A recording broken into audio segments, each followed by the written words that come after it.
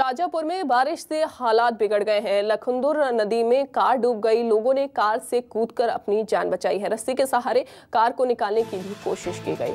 तो ये नदी में देखिए किस तरीके से कार चालक जो है फंस गया।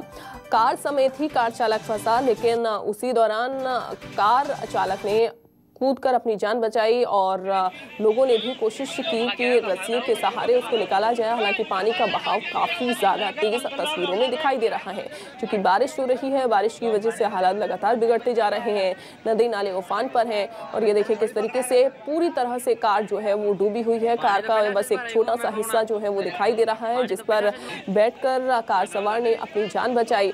रस्सी के सहारे उसको बचाने का प्रयास किया गया। Mun mun